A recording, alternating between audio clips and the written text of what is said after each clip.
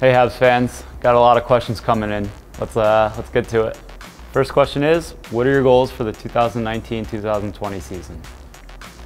My goal for the 2019-2020 season is to win a lot of games, get to the playoffs, help get the playoffs, and uh, have a lot of fun doing it with everyone.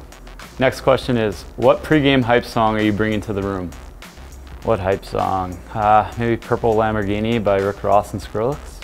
Next question, are you a prankster in the locker room? Any you want to share? I definitely could be a prankster in the room. Uh, I guess you're gonna have to stay tuned to see. Next question, who's your favorite goalie growing up? My favorite goalie growing up was Martin Brodeur. What is your favorite hockey memory?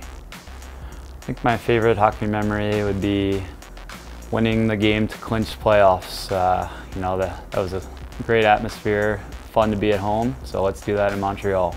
You feel safer with Shea Weber in front of your net?